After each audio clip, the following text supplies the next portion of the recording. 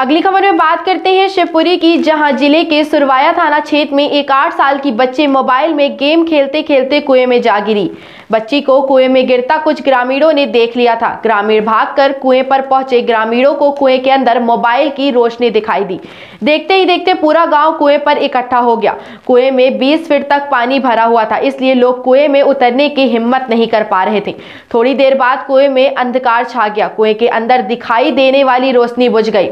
बच्चे के कुएँ में गिरने की सूचना सुरवाया थाना पुलिस को दी गई। मौके पर पहुँची पुलिस ने ग्रामीणों के सहयोग से काफ़ी मशक्कत के बाद कुएँ में से मासूम बच्ची के शव को बरामद कर लिया। जानकारी अनुसार सुरवाया थाना अंतर्गत आने वाले ग्राम कड़ी बरोद में भोला सरदार की आठ वर्षीय बालिका गुड्डी मोबाइल लेकर गेम खेल रही थी। वो मोबाइल गेम में इतनी तल्लीन हो गई कि उसे और कोई सुध नहीं रही। गुड्डी चलते चलते पास ही स्थित कुएँ में जा गिरी। मौके पर पहुँची पुलिस ने कुएँ में गिरी बच्ची को बचाने के लिए रेस्क्यू ऑपरेशन शुरू किया।